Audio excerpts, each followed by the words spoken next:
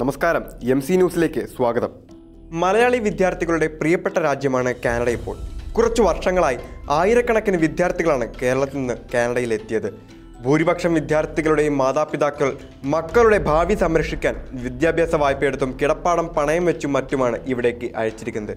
പക്ഷേ ഇപ്പോൾ കാനഡയിൽ നടക്കുന്ന പല സംഭവങ്ങളും കാണുമ്പോൾ പഠനത്തിനായി എത്തിയ വിദ്യാർത്ഥികൾ തങ്ങളുടെ മാതാപിതാക്കളുടെ കഷ്ടപ്പാടും ഇവിടെ വന്നതിന്റെ ഉദ്ദേശവുമൊക്കെ മറക്കുന്നതായ തോന്നലാണ് സൃഷ്ടിക്കുന്നത് ഏറ്റവും അവസാനം ഒന്റാരിയോയിലെ കിങ്സ്റ്റണിൽ നടന്ന സംഭവമാണ് അതിലൊന്ന്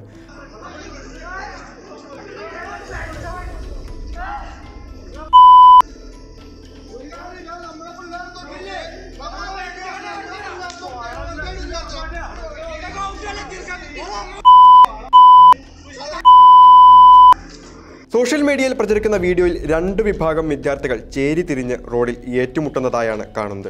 ഇരു വിഭാഗവും അസഭ്യം പറയുന്നതായും കേൾക്കാം. പെൺകുട്ടികളും സംഭവ സ്ഥലത്തുള്ളതായി വീഡിയോ വ്യക്തമാക്കുന്നു. ഇത് വാർത്തയാകുന്നത് ഇതിലെ ആളുകളുടെ മുഖം വ്യക്തമാക്കാതെയാണ്. മറുനാട്ടിൽ പഠിക്കാനും മികച്ച ജീവിതമാർഗം കണ്ടെത്താനുമായി വരുന്നവരിൽ ചിലരെങ്കിലും കാട്ടിക്കൂട്ടുന്നത് എന്തെന്ന് ചൂണ്ടിക്കാണിക്കുക മാത്രമാണ് ഉദ്ദേശം. വേറൊരു രാജ്യത്ത് വന്ന് അടിപിടിയും കേസും പൊല്ലാപ്പുമായി പഠനവും ജീവിതമാർഗവുമെല്ലാം വഴിമുട്ടിപ്പോകുന്ന സാഹചര്യം ഒഴിവാക്കാൻ എല്ലാവരും ശ്രദ്ധിക്കണമെന്ന മുന്നറിയിപ്പ് കൂടിയാണിത്. എം സി ന്യൂസ് കനേഡിയൻ മലയാളികളുടെ വാർത്താജാലകം